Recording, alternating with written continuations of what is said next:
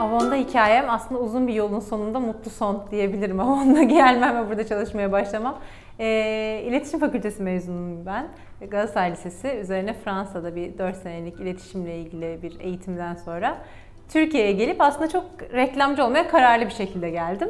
Ama tabii şunu fark ediyoruz. Büyük ihtimalle benim yaşlarımdan geçen herkes de fark etmiştir. Üniversitede öğrendiğin şeylerle gerçek hayatta hadi işe başlayayım dediğinde ihtiyaç duyduğun bilgiler hep aynı şeyler olmuyor. Dolayısıyla ben tamam reklamcı olayım da neresinden başlayacağım diye biraz araştırıp ee, kendi yöntemlerimle biraz reklamcılık hakkında kurslara katılıp biraz böyle ek e, dersler alıp sonra bir reklam ajansında çalışmaya başladım aslında.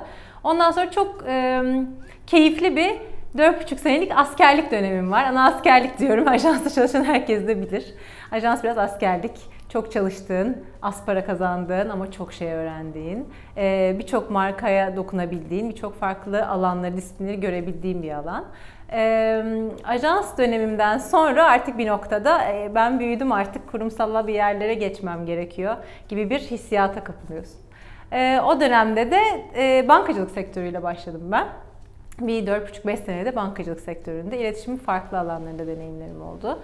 Ee, iç iletişim, e, PR iletişimi, stratejik iletişim altında toplanmış aslında biraz daha farklı stakeholderlarla nasıl iletişim yapılır konusunda kafa patlattığımız biraz daha e, entegre bir iletişim departmanı içinde bulunmuşluğum var. Etkinlik yönetimi deneyimim var.